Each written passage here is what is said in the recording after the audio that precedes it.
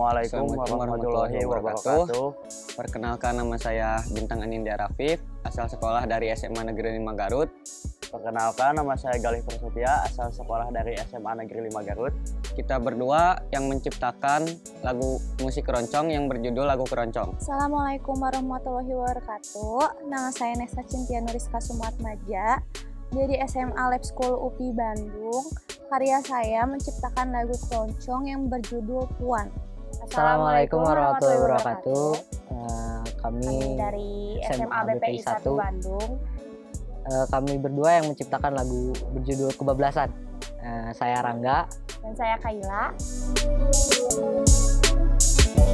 Tidak sengaja kita memainkan musik musiknya Winar yang berjudul Kesaktianmu itu diaransemenkan oleh musik keroncong. Jadi musik pop yang dikeroncongkan.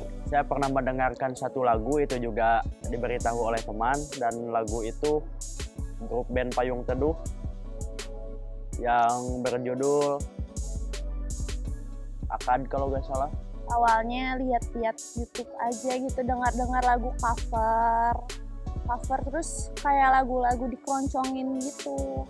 Aku suka ininya aja sih kayak nada-nadanya flow-flownya gitu. Kayak enak aja gitu, adem aja gitu bawaannya.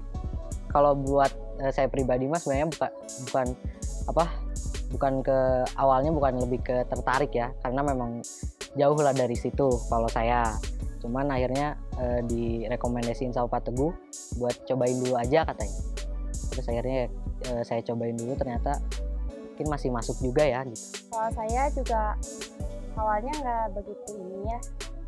Cuman ya kata Pak Teguh itu bisa dicoba dulu. Jadi saya mencoba. Ke depannya ya kita ingin juga pengen melestarikan juga musik keroncong ini. Jadi kita pengen membudidayakan lagi musik keroncong ini, memperkenalkan lagi. gitu. agar agar diperkenalkan lagi gitu kepada kalangan remaja-remaja yang ada di seluruh Indonesia. Hmm, pengen ngedalamin sih belum ya karena aku masih belajar juga. Tapi emang tertarik aja. Kalau mau sih ya mau nerusin gitu ya. Mau lanjut lanjut lagi. Cuman ya gimana? kalau mungkin sih apa ya perdalam sih mungkin aja ya Eh, saya perdalamin lagi cuman kayaknya belum dapat aja kalau buat saya mungkin kalau misalnya saya perdalam lagi mungkin nanti akhirnya bakal dapet atau gimana saya kan belum tahu juga ya mungkin bakal diperdalam dulu aja sih Yang kami ciptakan itu lagu keroncong kan. Berhubungan ini lomba cipta lagu keroncong, jadi eh, saya berpikiran untuk membuat musik keroncong ini yang berjudul lagu keroncong. Jadi intinya saya terinspirasi oleh lomba ini sendiri gitu. Jadi Puan tuh lagunya berceritakan tentang eh, percintaan remaja gitu. Nah, kayak tentang hubungan yang jadi si Puan itu eh, orangnya jago banget memanipulasi si pasangannya nih si cowoknya sampai si cowoknya percaya sama semua kata-kata si Puan. Padahal si Puan tuh kayak cuman omong kosong aja gitu kayak ngasih tahu kalau misalnya dia sayang banget sama cowoknya terus tiba-tiba ditinggalin. Padahal eh, si cowoknya udah sayang banget gitu sama si puannya lebih ke memperbaiki kebiasaan iya terus kebiasaan. kan anak remaja zaman sekarang suka kayak sindir-sindiran sampai kayak kebablasan terakhir akhirnya. Akhirnya kalau biasa jadi kita sebenarnya di lagu itu mencoba untuk eh, sedikit merubah lah kebiasaan anak-anak eh, sekarang gitu saya untuk semua orang yang mendengarkan lagu ini agar semua pendengar yang mela- yang mendengarkan lagu ini eh, membudidayakan dan mele- melestarikan lagu lagu keroncong gitu. supaya lagu keroncong ini terus dilestarikan dan terus dibudidayakan lagi dan tidak redup lah lagu keroncong ini supaya tidak redup jadi kami mempermudah saja membuat musik keroncong ini dengan berjudul lagunya lagu keroncong supaya lebih dikenal lagi.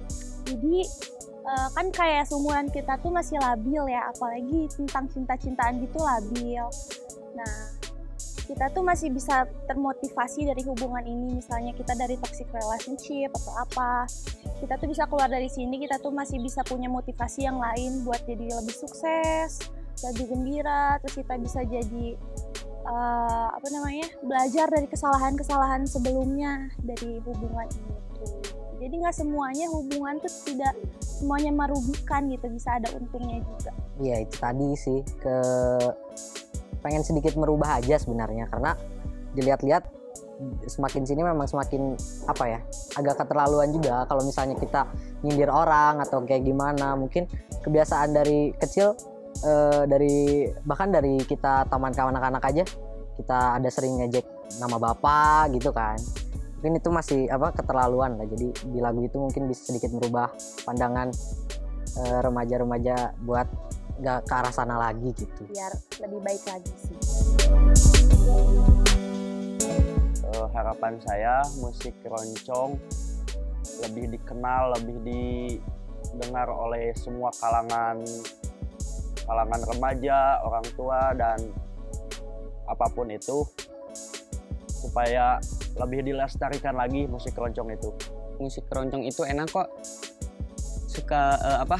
Lihat-lihat aja dulu gitu. Kan ada pepatah mengatakan tak kenal maka tak sayang gitu. Jadi kenali dulu musik keroncongnya. Nah, saya jamin kok musik keroncong itu enak. Harapan aku buat musik keroncong sih semoga masih uh, bisa didengar ya sama kalangan muda sampai tua gitu. Semoga masih bisa terkenal sampai ke internasional, sampai ke luar negeri gitu. Uh, kalau keroncong tuh ya apa ya indah aja gitu buat didengar gitu ya bisa sampai kedengar sampai luar negeri kalau buat zaman sekarang ya mungkin lebih kesusah ya banyak orang yang kurang tahu juga kan. Banyak orang ya ya sekedar tahu aja gitu. Nggak nggak yang mendalami. Padahal eh, mungkin memang anak-anak kayak saya ini harus diter, harus nerusin juga kan. Cuman dilihat dari teman-teman saya yang saya dekat-dekat gitu juga nggak. Bahkan gini aja deh eh, lagi di coffee shop. Emang ada coffee shop yang eh, apa ngedengerin lagunya lagu keroncong kan nggak ada. Bisa bilang jarang atau bahkan nggak ada memang kan. Kecuali memang tempat-tempat tertentu gitu aja nggak sih paling gitu aja sih. Mungkin memang harus lebih di sedikit diperamai lagi. Mungkin banyak mencakup anak-anak kayak kita kali ya. Kayak misalnya ya lomba-lomba kayak kemarin itu kan. Jadi kita juga tahu gitu. Ada terus lebih dikenalin lagi ke yang lain Terima, Terima kasih. untuk riset UPI dan teman-teman serta guru-guru yang telah mendukung kita. Saya ucapkan beribu-ribu terima kasih. Eh, saya juga berterima kasih kepada Riset UPI yang telah menyelenggarakan lomba ini, juga pembina, kepala sekolah, guru-guru yang ada di sekolah SMA Negeri 5 Garut, juga teman-teman yang teman-teman seperjuangan yang sudah banyak membantu dan sampai dengan titik ini saya mengucapkan terima kasih. Terima kasih buat teman-teman aku yang udah support aku, terutama keluarga aku dan Pak Viko yang udah bantu aku SMA Lab UPI Bandung dan terutama eh, tim tim peneliti UPI yang udah menyelenggarakan acara ini. Terima kasih. Dadah. Terima kasih buat eh, pembimbingnya Pak Teguh gitu. Terus makasih buat semuanya. Makasih buat tim. Enggak. ya makasih juga buat apa ya banyak yang support sih ya memang dari keluarga gitu-gitu teman-teman juga banyak ya paling ke situ juga. Ya sekolah juga. Terima kasih buat sekolah SMA BPI 1 Bandung. Assalamualaikum. Assalamualaikum warahmatullahi wabarakatuh. Terima kasih semuanya.